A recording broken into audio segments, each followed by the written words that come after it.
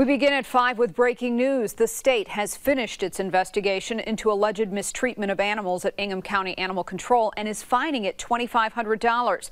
News 10's Alani Letang has led the way on this story from the beginning. She joins us now live from the newsroom to tell us why that fine was levied.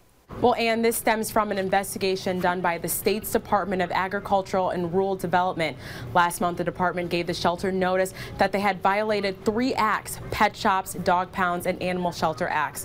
The department determined the shelter did not properly register with the state, failed to sanitize primary enclosures for dogs to prevent disease, and failed to provide enough employees for the amount of care it, the animal, animals in their care.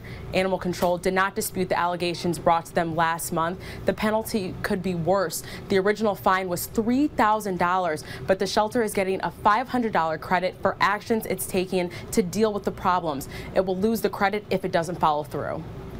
All right, thanks, Alani. Law